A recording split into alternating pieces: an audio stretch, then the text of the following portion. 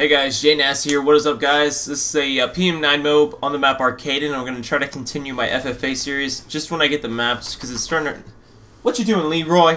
But it's it's getting hard to uh, get the maps that I want to play and MOAB them every time, so it's getting kind of uh, kind of difficult. I think my next uh, FFA gameplay will probably be on Mission or Lockdown with the MP5, and then after that I'll go full try hard for the last map, and I'm not too sure if that will be, what map that will be.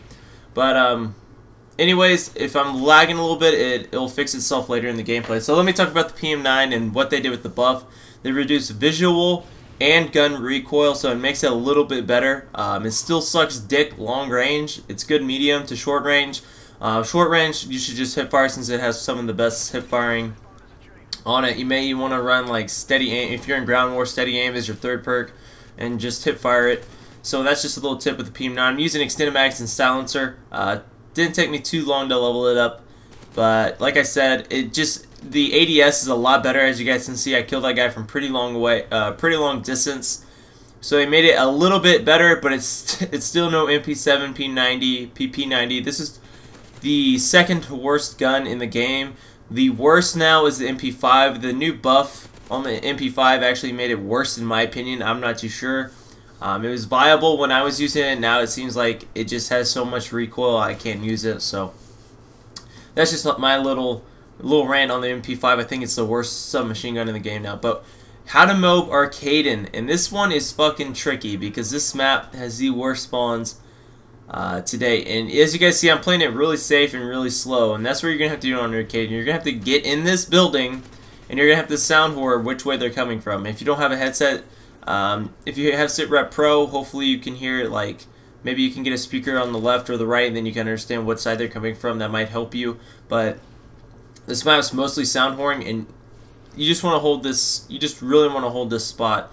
Uh, it gets real tricky at times when they start spawn. You'll kill a guy down here and they'll spawn right above the staircase. So uh, the revenge spawn system isn't in fact really bad on this map.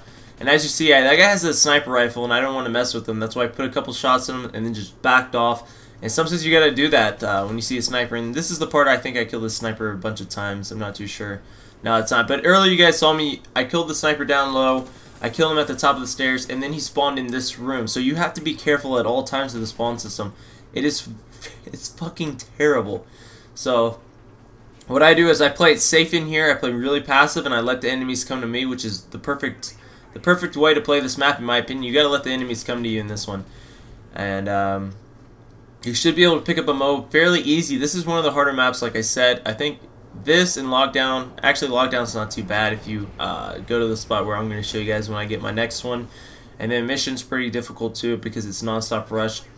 And like I said, just play passive on this map. Just let them come to you. It should be fairly easy. And uh, just run back and forth throughout this little this little area, and you should get it. So I hope you guys enjoy the PM9 FFA MOAB. I'm going to continue the series once I get the mission and lockdown. I think I'm done with it. So hope you guys enjoy. Uh, peace out! Bags!